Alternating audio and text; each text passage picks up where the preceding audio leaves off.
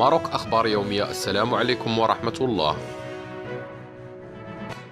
تورط مهاجر مغربي في عقده الثالث أمس السبت في اغتصاب شابة روسية تحت التهديد بالسلاح الأبيض بمنطقة خلاء توجد ضواحي مدينة بولونيا بإيطاليا. وأوضح موقع إيطالي لماروك أخبار يومية. يومه الأحد أن المهاجر المغربي البالغ من العمر 36 سنة أقدم على اغتصاب الشابة الروسية البالغة من العمر 25 سنة تحت التهديد بالسلاح الأبيض بالإضافة إلى أنه تورط في السطو على محل تجاري قرب مكان الاعتداء.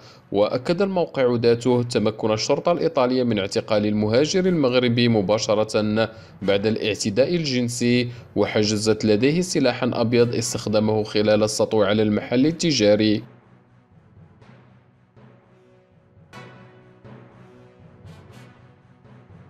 نشكركم على حسن المتابعة. قناة ماروك أخبار يومية.